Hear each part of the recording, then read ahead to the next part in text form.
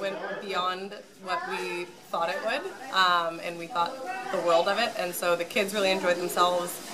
I love that it combines something artistic and also something to broaden their minds about the importance of um, fair treatment of others.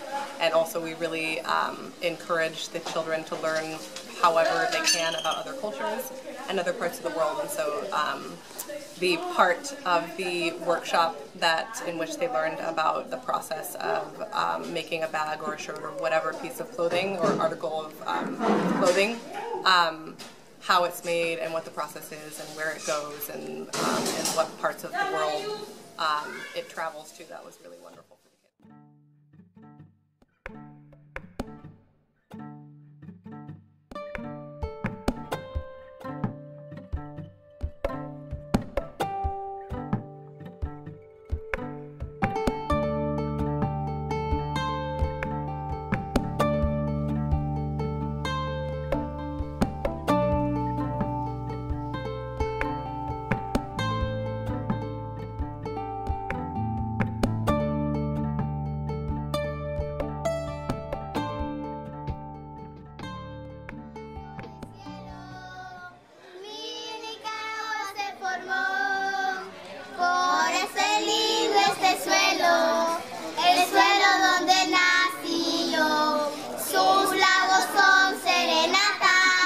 Maravillosos talismanes.